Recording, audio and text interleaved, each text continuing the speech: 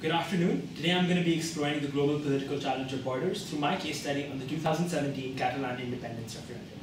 Spain is a country with complex internal borders that is being described by many legal scholars to be a decentralized unitary country. This means that although sovereignty is held by the central government situated in the Spanish capital of Madrid, the country is divided into several smaller autonomous communities that govern with, that exercise the right to self-government in limited capacities within their own borders. The region of Catalonia, situated in northeastern Spain, is one such autonomous community. The very political structure of Spain in itself shows us that borders are a complex concept, as even within the borders of a sovereign state, there can be multiple other borders that grant power and authority to local governments. As a region, Catalonia has historically been culturally distinct from the rest of Spain, and as a result has evolved its own language, culture, and traditions, which has also led to the rise of nationalist sentiments within, within the country. Nationalism is a complex political phenomenon in which the interest of a nation, which is a group of people with a common shared identity, is promoted, especially with the aim of gaining or maintaining the nation's self-governance over its homeland to create a nation state. The nationalist, the nationalist Catalonian provincial government, led by President Carles Puigdemont, was highly dissatisfied with Catalonia's existence as a nation within a state, and instead wanted to establish Catalonia as a sovereign nation state in which the cultural boundaries of the, of the Catalonian nation would mirror the political boundaries of the Catalonian state. Further contributing to the rise of the referendum are economic disparities within Spain. Catalonia is one of Spain's richest autonomous communities, and as a result, the gap between what they pay to the central government in the form of taxes and what they receive back from the central government in the form of government spending is estimated to be between 8 and 10 billion euros a year, a figure that got substantially worse following austerity measures implemented by Spain in the wake of the 2008 global financial crisis. As a result, there's a feeling of dissatisfaction amongst Catalonians as they believe they're getting the rear end of the stick in their relationship with Spain and they're not getting their fair share of public investments. These factors show us that borders are not borders are a multi-dimensional concept as they extend beyond just physical lines dividing areas to also the economic and cultural borders between different communities. It's very interesting that cultural borders play such a key role in this case study, as throughout the rest of the world, we're in fact seeing that cultural borders are becoming less and less significant with the advent of globalization, which is the increasing interconnectedness, interconnectedness of the world as a result of massively increased trade and cultural exchange. In Catalonia, and between Catalonia and the rest of Spain, however, we see that cultural borders are still ever relevant and the Catalonian national identity is held high, in, is held in high regard. As a result of these factors, a series of independence referendums were conducted between 2009 and 2015. However, these independence referendums were always meant to be symbolic and non-binding. Following growing pressure on the Catalonian government, on October 1st, 2017, a binding independence referendum was conducted in which all Catalonians were asked to respond to the question, do you want Catalonia to become an independent state in the form of a republic?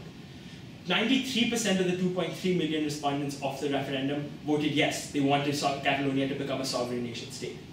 In the weeks following the election, the Span Spanish Constitutional Court declared the referendum illegal, the Spanish central government declared the referendum illegal, and key separatist leaders such as Puigdemont were arrested or fled the country in fear of arrest. We see that the referendum was largely unsuccessful in establishing a new country, and the referendum as a whole was not a success. Here, it's increasingly important to consider the right to self-determination with regards to the Catalan, Catalan independence referendum. The right to self-determination is a human right which states that all groups of people have the right to freely, freely choose their sovereignty and international political status with no external interference. This, this human right is codified into international human rights law and can be expressed and can be explicitly found in Article 1 of the UN Charter and Article 1 of the International Covenant on Civil and Political Rights, also known as the ICCPR. The ICCPR says that all humans, all groups of people have the right to self-determination. However, through this case study, we see that this right is largely, is largely fallible.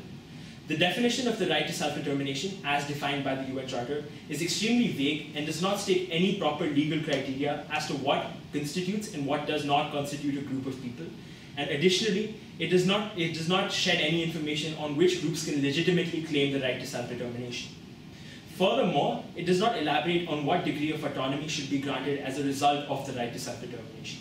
Thus, there is a very large scope for disagreement between key stakeholders in the case study on the right to self-determination and the Catalan independence referendum.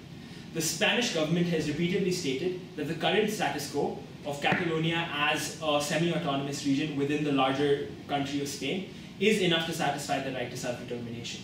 However, the Catalan government has been adamant in stating that only a fully independent sovereign state, as was voted for by the Catalan people through the referendum, is enough to satisfy their right to self-determination. Thus, additionally, additionally, we should, it should also be noted that the right to self-determination is only a right of process belonging to people rather than a right to outcome. Perhaps it is this vagueness with regards to the right to self-determination that has led to the establishment of new borders in contemporary global politics becoming increasingly difficult.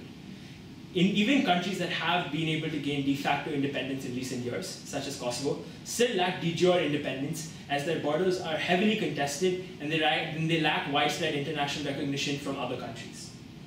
It can also be useful to draw a parallel between the Catalonian independence referendum and the Kurdistan independence referendum that was also held in 2017. The Kurdish people are a minority in Iraq, and they're situated in the northern part of Iraq. And in 2017, they held an independence referendum to determine the fate of their country. In the, similarly to the Catalonian um, referendum, 90% or over 90% of Kurds voted for the formation of an independent Kurdish state. However, this referendum was also unsuccessful, and there has been no change to the status quo of Kurdistan as a semi-autonomous region within Iraq. We're increasingly seeing that in contemporary politics, land is increasingly becoming the most valuable finite resource, and thus states are hesitant to cede any land, no matter the context or political ramifications, and we can see this in Spain as well. It is also important to consider legitimacy um, when discussing the Catalan independence referendum and analyze how the Catalan independence referendum might, might enhance the legitimacy of the Catalonian state. According to Andrew Heywood, legitimacy is the quality that transforms naked power into rightful authority, and political philosopher John Locke says that legitimacy can be gained through the consent of the governed, in this case in the form of a referendum. The, the widespread support for the independence of Catalonia, as approved, as shown through the referendum, um, increases claim increases Catalonia's legitimacy as it shows widespread support for the movement. However, we can also see that due to a host of other factors, claims of Catalonian legitimacy are also severely hindered. International observers that monitored the elections, that monitored the referendum, noted vast irregularities in the voting process and stated that the referendum had failed to meet the international standards for elections. Additionally, only 40% of all eligible voters, all eligible Catalonian voters, ended up voting in the referendum, in no small part due to the pro-Spain constitutional political party, asking the supporters not to vote in an election that they saw as illegal and fraudulent. As a result, it may be argued that the referendum was not an actual representation of the will of the Catalonian people, and thus does not enhance of Catalonian legitimacy. The government has justified the low turnout by pointing out that the government, the, the Catalonian government has justified the low turnout by pointing out that the Spanish government-controlled police had aimed at stopping the refer referendum during and before voting by what was described uh, by Amnesty International as an unnecessary and excessive use of force. Additionally, we see that we see that Catalonia fails to meet the Montevideo Convention's prerequisites to statehood, as although it has a permanent population, a defined territory, and a functioning government, it has no capacity to conduct international relations as it has no recognition from other sovereign states. While legitimacy is not always necessary for a state to maintain its independence, as seen by the Taliban government's rule in Afghanistan without widespread international community recognition, it does allow states to govern with a minimum application of force, which is necessary for an economically thriving region like Catalonia. This could be remedied by Catalonia joining the European Union or the EU, um, as it would give as it would give them agency as as it would give them agency as a state um, as it was given agency and recognition as a state. However, the process of joining the EU uh, requires unanimous approval from the European Council, of which Spain is a member, effectively giving Spain veto rights. Thus, it is unlikely that Catalonia would be able to join the EU, and as a result of this, they would find their borders becoming increasingly rigid in a Europe that is able to prosper due to globalization-induced loosening of national borders, and they would have many economic losses as well. This, type, this case, in conclusion, we can say that this case study is highly significant in the context of contemporary global politics, where separatist movements all around the world, be it Kashmir in India, um, Nagorno-Karabakh in Azerbaijan, or Scotland in the UK, are looking for ways to gain independence. By analyzing the case study, we are able to gain insight into how the right to self-determination may be pursued, and how states may look to enhance their legitimacy. This case study exemplifies the complexities of border in a, borders in an increasingly interconnected world, with borders establishing themselves between states, Uh, within states and between communities as well as a result. Thank you.